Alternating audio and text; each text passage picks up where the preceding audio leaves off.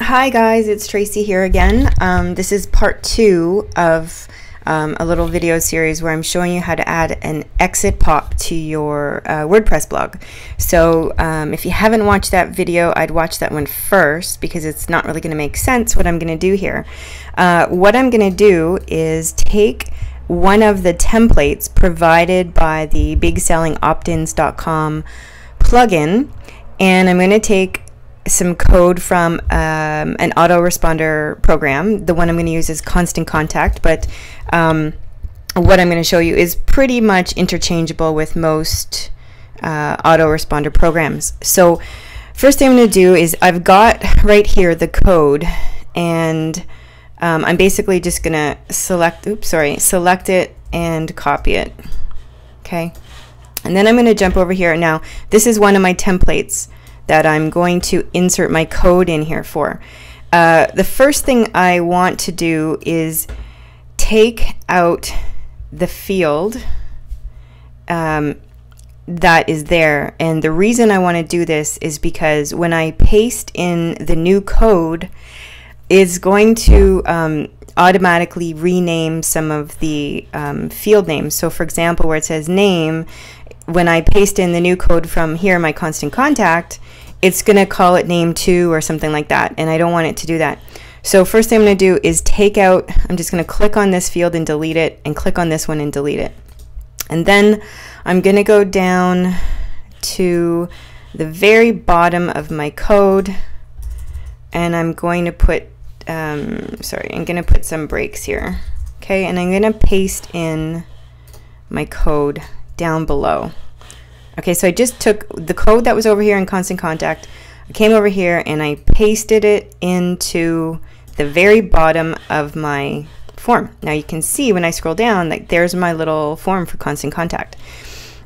Now Constant Contact only has email. It doesn't allow you to put the first name field there. So unless it does, maybe it does, I don't know. I'm, I do not really care at this point because what I'm going to show you is going to apply to any field. It doesn't really matter. So um, for this example, I'm going to take this whole row out because I don't want to, I'm not going to have the name field. So the first thing I want to do is I notice in this form, I have two little pieces of code here and I'm using Dreamweaver and Dreamweaver actually takes um, the code up here, for example, I have a hidden input value and it shows it to me in the form of this little yellow icon. And I'm just going to click on it, uh, on both of them, and hold my shift key down, click one, hold my shift key down, click the other one, and I'm going to drag them up and I'm going to put them in front of the your email label. Then I'm going to take the field right here that I'm uh, entering my email. I'm going to click that and then drag it right up to here. Okay. And the other thing I'm going to do is just quickly check out my go button. So down here I got my go button. I have type submit, name is go, value go, class. Um, this is just for the styling, which I don't need. Okay, so that's really irrelevant. Um, basically, it's an input type of submit and the name is go. So I'm, I'm not too concerned with that.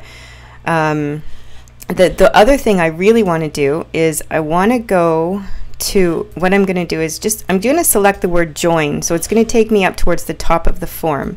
And I'm going to scroll up here in the code and I'm going to look for um, oops. Sorry. I'm, I'm going to look for the opening form tag okay? And I'm going to select the whole thing because it's got in here basically the action of once the user clicks the send me my free report button, this is where it's going to take them. So from the very opening tag here in front of form to the very closing um, bracket, the little greater than sign, I'm going to select that and I'm going to cut it because I, I don't, I want to get rid of it anyways.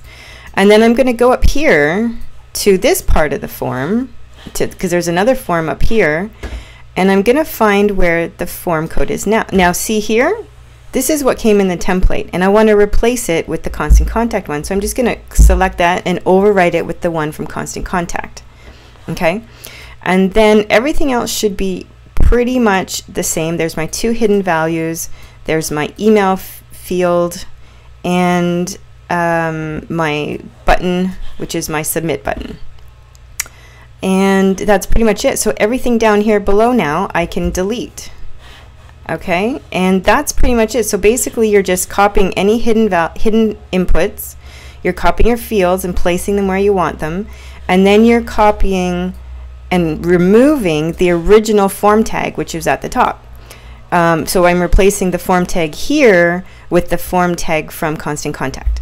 And um, that's pretty much it. Now this form's ready to go. It's now going to work with my Constant Contact um, autoresponder. And that's it. I hope that helps. If you have any questions, leave me a comment below and I'll do my best to help you out. Okay, thanks. Take care.